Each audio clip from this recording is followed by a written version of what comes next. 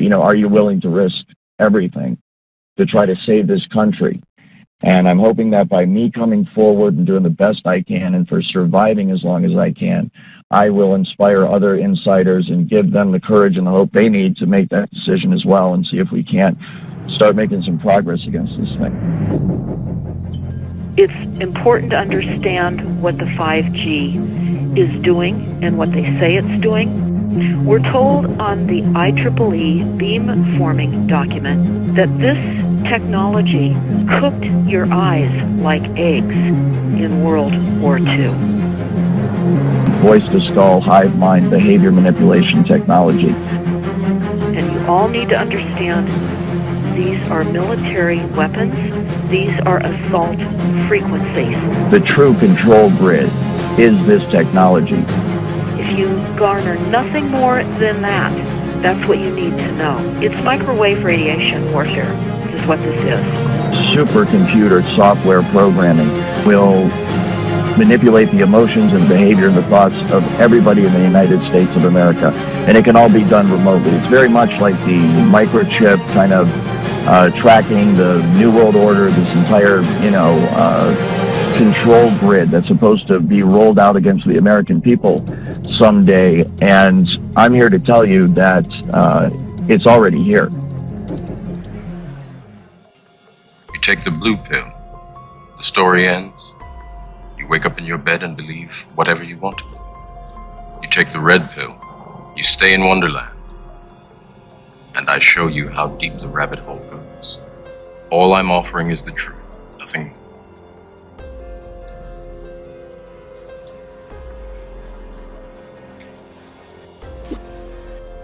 goal of creating artificial intelligence was for them to become gods, to create a collective mind, a global computer that sees all, sees everything, to, to create an all seeing eye. In 2007 the Register reported that the Pentagon was developing a parallel to planet Earth with billions of individual nodes to reflect every man, woman, and child on the planet. Blurring the lines between reality and artificial reality. It is called the Sentient World Simulation, a neural network with massive computing power. We're all collectively programming the AI. And, the, the, and Google plus the, all the humans that connect to it are one giant cybernetic collective where we're all sort of plugged in as like, like nodes on the network, like leaves on a big tree. And we're actually building a computer that has real neurons in real time that's also psychically connected to us that are organic creatures. A human mass machine interface, dial it into all the other machines and computers, and have a lifetime model of the world hooked into GPS everything, the Internet of Things, to then be able to predict the future and then be able to control the future. We have to embody all our data and all our knowledge into a working model. It's like a Noah's Ark, it's like an archive. So the way we're going to do that is to build a kind of Microsoft for the brain, or Google for the brain, where we're going to bring all the information that we have ever accumulated on the brain and bring it, upload it into this environment, organize it, and then we're going to develop algorithms that connect all of this data we'll be able to start exploring and get inside the brain. You see, today I cannot get inside your brain to see how it works. I can measure it from the outside, but I can't get inside and look at what you see. But with this, you'll be able to step inside a brain and look at how it builds a world. The brain creates, builds a version of the universe. And projects this version of the universe like a bubble all around us. We want to be able to use those parallel universes to compute things that then come back and affect us and answer questions in ours. We want to grab those parallel realities from this abstract space in which they live and crunch them down into this chip. And you start thinking about us being the qubits in some massive giant quantum computing simulation. It's almost as if they're either trying to harness or to recreate what is commonly referred to as a collective consciousness. And uh, in conventional computing, in software, these things are often called neural nets. Uh, we have a hardware version up in our head, it's called our brain. Um, the chips that we build are architected like neural nets. There are hardware versions of neural nets. They can literally plug you into the internet, which is just to give you a very simple way of, of understanding that. And what that uh, scientist there is describing now is the hive mind. Now, if people think this is somehow um, sci-fi or conspiracy theory, they're absolutely wrong and they're way behind this because this is here now. It's been done. It, it's been done in experiments and it's been proven to work. And this is the technology. This is the first phase of technology that's going to come after the kind of uh, the um, AI goggles, you know, the kind of Google virtual world stuff. After that is coming this stuff, and this is this is going to come in a lot sooner than you think. And quite frankly, it terrifies me.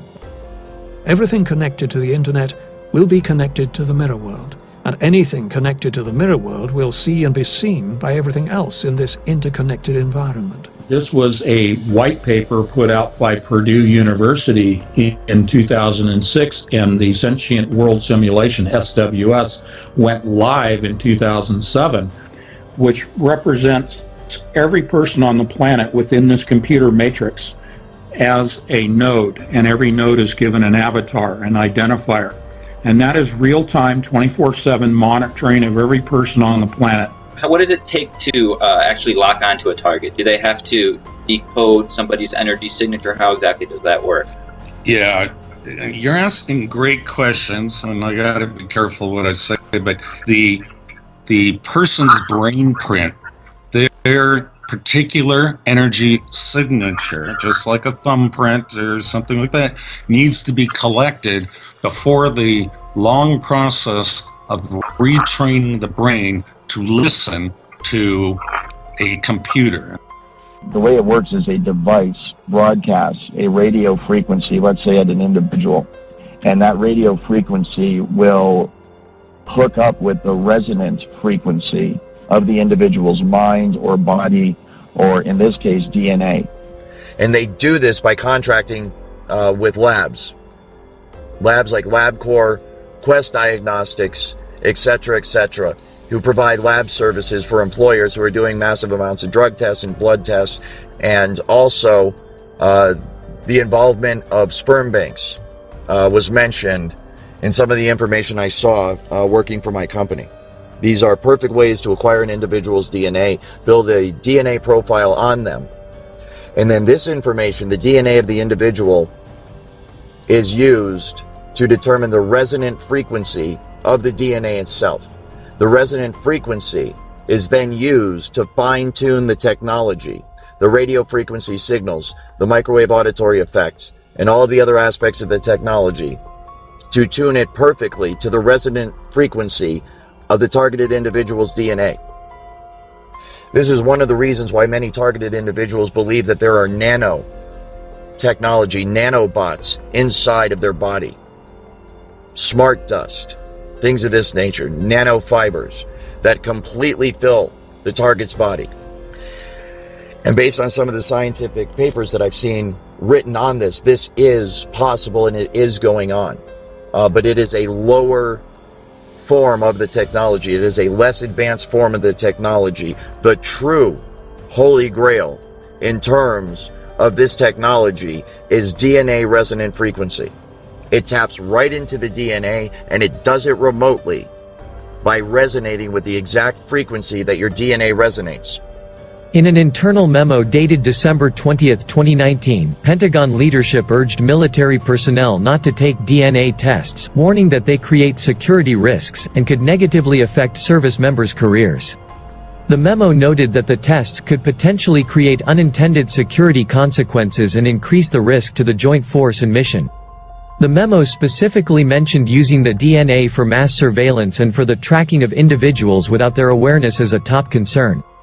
This memo seems to substantiate whistleblower and former private security industry specialist Bryan Kofron's claims that the resonant frequency of the DNA is used to monitor, track, and control the minds of targeted individuals. What they do is they get your DNA, and then once they've got your DNA sequence, they can then go to a supercomputer and they can biocode directed energy attacks that will only go and bioresonate with your body. So that three people can be standing right next to you and nobody's going to feel the harassment except you because these signals are biocoded to your body's tuning only. And mm. then they can send down V2K, they can send down any, any symptom they want because they're in full control of the bioresonance of your bioenergy.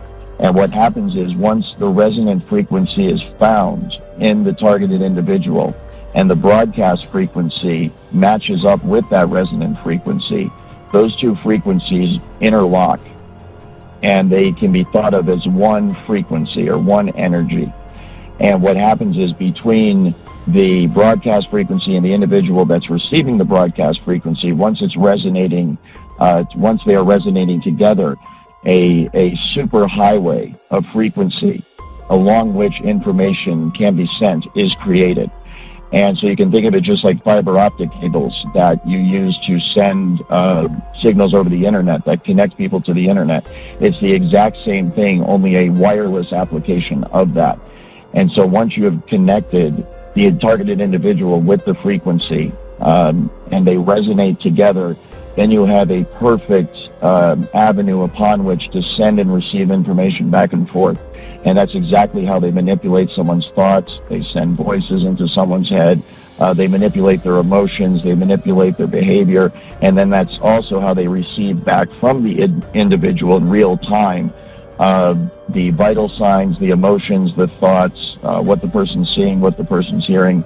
And then all that information, of course, is rendered on a computer elsewhere uh, via software, and it can be monitored and tracked in real time. And we believe that this is going to begin to help us understand how we create perceptions. How do we create the world that we live in? We do not see with our eyes or hear with our ears, we see with our brain. You are not seeing me. You are, you are, you are you're imagining me actually standing up here. Your brain is an imaginarium and it is building this perception.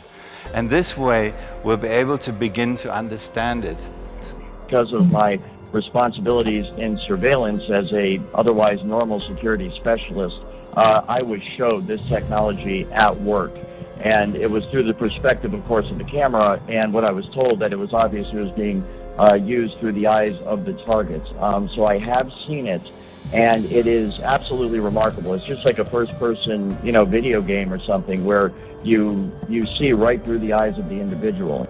When we look through our eyes, there are photons hitting the outside of our face. They don't actually make it into the part that thinks. The part that thinks is looking at something else. It's looking at some kind of weird compressed signal. Basically, those optical signals are, are interpreted by the brain and then you you perceive them as vision, you perceive them as pictures and so forth. But this is all uh, electrical signals within the brain.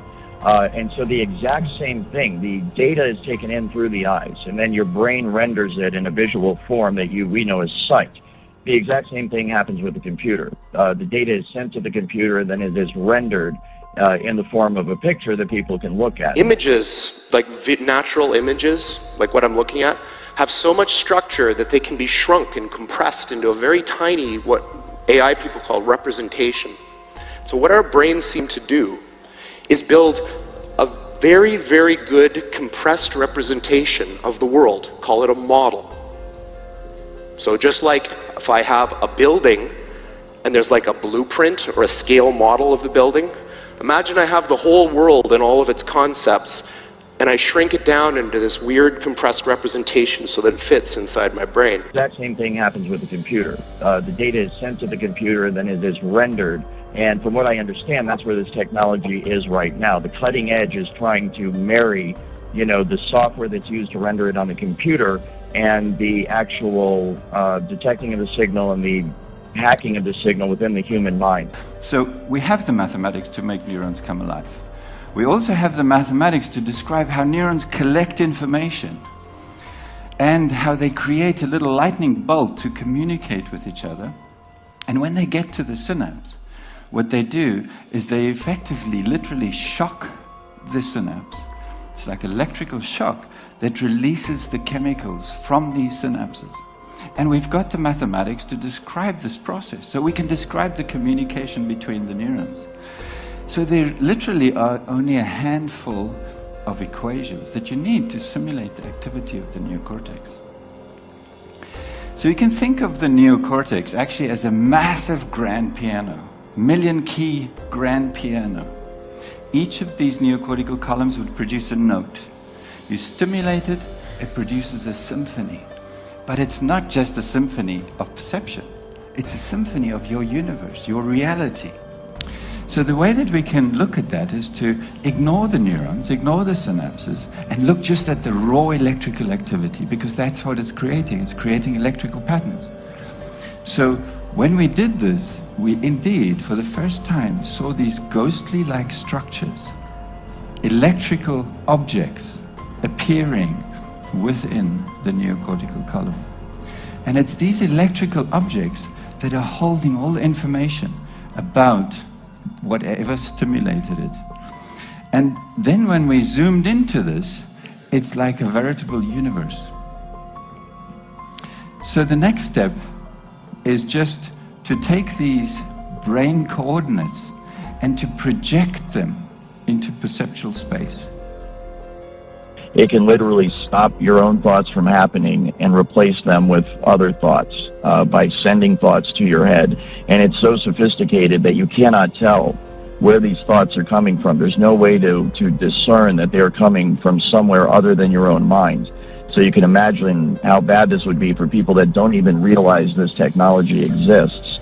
And they're having these thoughts, which they think are spontaneous because uh, being under the influence of this technology now, kind of having been on both sides of it, I am I am just amazed um, at the way it works, and I know that the thoughts that they beam into your head originate from the exact same place in your mind that your own natural thoughts originate from. So if I didn't know I was under the influence of this technology, then I would have no idea that anyone was influencing my thoughts at all. And that's exactly what it can be used for. It can be used to sway people in terms of their opinion, to make them go along with a certain agenda. It can be used to turn groups of people or individuals against each other uh, for whatever purpose. The entire point of this uh, social engineering program that has been researched and developed for decades now uh, the full intent within the program, everything that's planned going forward, the day-to-day attitude of all the people is that this program is going to be rolled out nationwide and it will become the norm. Every man, woman, and child in America will be under the influence of this technology. And as you can see going forward, what's going to happen is a, is a dividing line is going to be drawn in America and it's not going to be Democrat or Republican or black and white, rich, poor, you know, Jew, Gentile, religious differences, whatever it is. It's going to be based on who is on the right and the wrong side of this technology, who is on the right and the wrong side of this program. And so if you are not a part of this program, then there is a very real risk that you are going to become a full-blown 24-7 targeted individual. And this technology at that point, when it is nationwide, will be used by automated computer, supercomputer software programming uh, that will manipulate the emotions and the behavior and the thoughts of everybody in the United States of America. And it can all be done remotely. It's very much like the, the microchip kind of uh, tracking the New World Order, this entire, you know, uh, control grid that's supposed to be rolled out against the American people someday. And I'm here to tell you that uh, it's already here. There isn't going to come a day where there's troops in the streets and tanks rolling down uh, your neighborhood and riot gear and all this stuff. We might have isolated incidents like that. It might get like that every once in a while, but the, the true control grid is this technology, voice to skull, hive mind, behavior manipulation technology. And it can all be done remotely. It can be done simply by targeting you with the frequency locking into the resonant frequency of your DNA and your mind, and in that manner completely track and trace and control you.